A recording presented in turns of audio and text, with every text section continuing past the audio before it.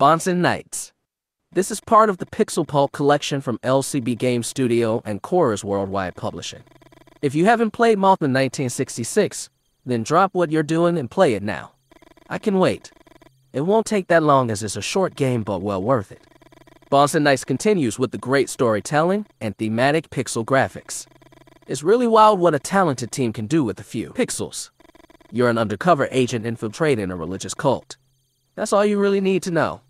Pixel Pulps are story driven, so there's not a lot of replayability, but they should still be experienced by everyone. This gets an 8 out of 10.